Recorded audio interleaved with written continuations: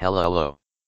Welcome to the first tutorial episode on how to make a plugin for mCreator.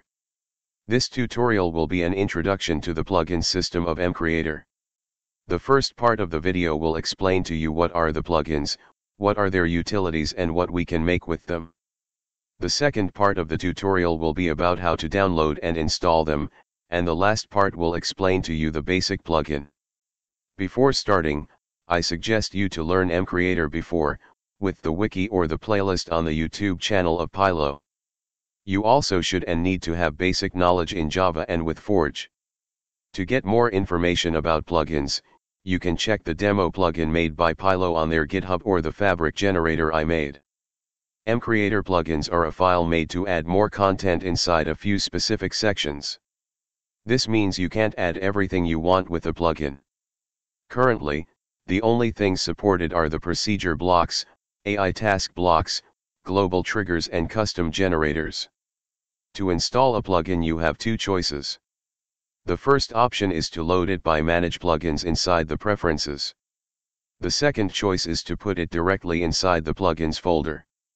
To do this method, search your .creator folder, users slash your user, and then, put your plugin inside the folder called Plugins.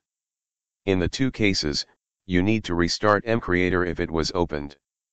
If everything is fine with the plugin, you will be able to see it with the other plugins inside the list of the Manage Plugins section. Now that you know how to install a plugin and why we use them, it's time to explain the basics of a plugin. The first thing you need to make your plugin is a file named plugin.json. This file is the most important of the plugin. Without this file, the plugin can't load. Inside the file, you can find four categories. There is the ID, the min version, the weight and the info. The ID field is as you can guess, the plugin ID if you want to see some examples of plugin ID, you can check the ID of integrated plugins always inside the manage plugins. The second field is the min version, and it's used to tell to mCreator what is the minimum mCreator version the plugin has to be on to be loaded and used. I won't explain the weight field because since I began to work with them, I never find its usage, and it doesn't seem to be important. The last field is a little bit longer, as it's the field containing information about the plugin. To set the name of the plugin, use name, to set the version of the plugin, use the version, to add a description of your plugin, use the description, and finally, to add an author, use the author. When you have finished filling the file, you save and close it. Then, you will need to create a folder containing the other folders and files of the plugin.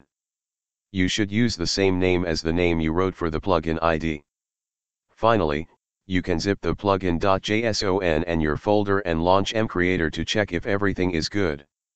To load, the plugin has to have the plugin.json and the folder you created directly inside the zip file, otherwise, it won't load. It's now the end of the introduction to the plugin system. I hope you liked this tutorial, and it helped you. The next tutorial will explain you a first element of the plugin.